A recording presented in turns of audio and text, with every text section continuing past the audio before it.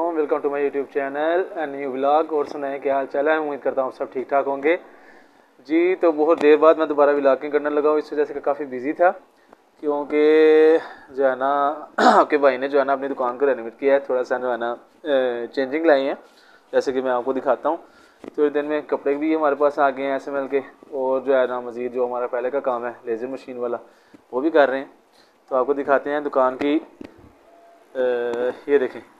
ये हमने जो है ना शटर जो है ना शायद पहले भी देखा होगा पिछली वीडियोस में यहाँ जो है ना शटर को हमने कलर किया, और उसके ऊपर जो है ना, हमने ये जाली वाला सिस्टम किया कि ये जो चीज़ें हैंगिंग वाली है ना, ये इधर आ जाएँ, और जैसे कि आप देख सकते हैं कि हम सारा खुद खुद ही जानते हैं, खुद ही कर लेते हैं।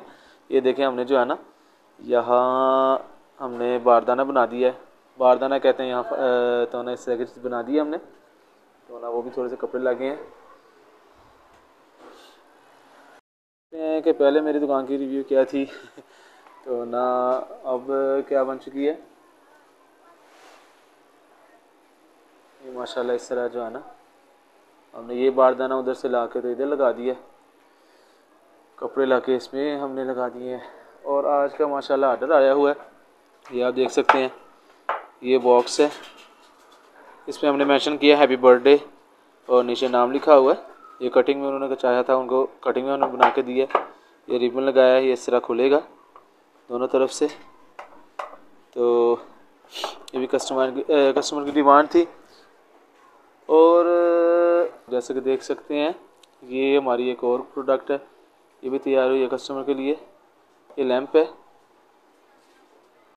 ये तो हम अपने वर्किंग एरिया में आ गए हैं। ये एक और आर्डर आ गया देखें। ये पिक्चर इंग्रेविंग का है। तो ये यहाँ जो है ना मशीन हमारी, इससे वो इंग्रेव कर रही है वुडन के ऊपर।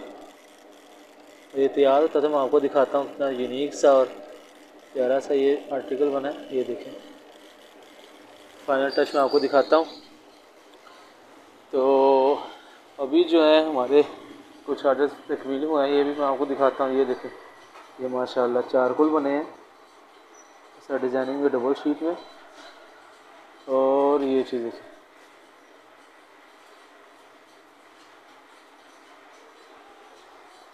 दो तीन और भी आर्डर्स हैं, वो भी आपको दिखाता हूँ कि आज जो है ना, जो फिनिशिंग में आ जाए हमारी कोशिश यही होती है कि जो आर्डर्स है ना, वो यानी कि बहुत प्यारे यूनिक तैयार हों इंशाल्लाह तो आज तो इस काम में बिज़ी थे। दुकान में अक्सर बिज़ी होते हैं तो मैंने कहा चलो यहाँ से हम शुरुआत करते हैं। और दूसरा ये है कि जो हमारे सामने जो चाचू की जगह बन रही थी, वो मैंने आपको दिखाया था, वो नहीं है, डाली थी। ये देखिए, माशाल्लाह जो है ना, ये आर्टिकल तैयार हो गया सारा जो है ना, तैयार हो गया लेंटर भी डल गया है। मज़ीद ही मैं आपको दिखाऊँगा। तो जैसे देख रही हैं कि अब रात हो चुकी है, और अब रेस्ट टाइम आ गया और चलते हैं हम घर में। और इंटरटेनमेंट करते हैं। और उम्मीद करता हूँ आप सबको मेरा ब्लॉग अच्छा लगा होगा। और अच्छा अगर लगा तो सब्सक्राइब करें कमेंट्स करें लाइक करें। तो और क्या कहते हैं, इंशाल्लाह अगले ब्लॉग में मिलेंगे। नई कोई आइटम के साथ। ओके जी, ठीक है जी, अल्लाह हाफिज़।